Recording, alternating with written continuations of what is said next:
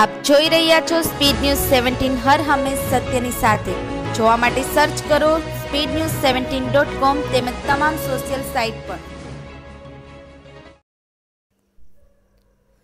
પોરબંદર શહેરના કરલીના પુલ પર બે બાઇક વચ્ચે સર્જાયો અકસ્માત.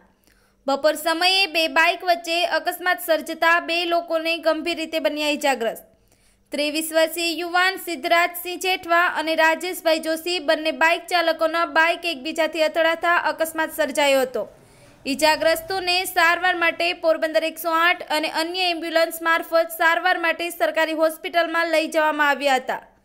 Speed news seventeen Porbandar.